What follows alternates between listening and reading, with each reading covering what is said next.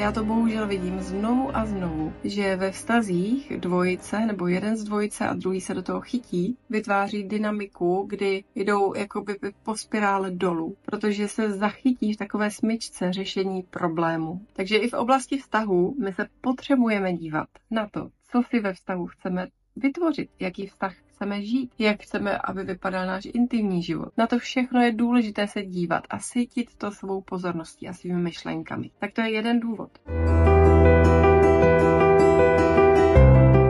A ten druhý, proč vás zvu do toho kurzu, je to, že jsem od mnoha lidí slyšela, tohle je jeden z nejlepších kurzů, jaký jsem kdy absolvoval nebo absolvovala. A slyšela jsem to i od lidí, kteří za sebou měli už mnoho osobního rozvoje a z mnoha úst jsem slyšela, tenhle tvůj kurz je nejlepší. On je tak komplexní, on je tak skvěle postavený, on je tak výborně vyvážený, co se týká informací a prožitku. A to je další důvod, proč vás do něj zvu. Je to opravdu stupenka do života, ve kterém, když pochopíte ty principy a uplatníte je, tak ve vašem životě nastane úplně jiná realita.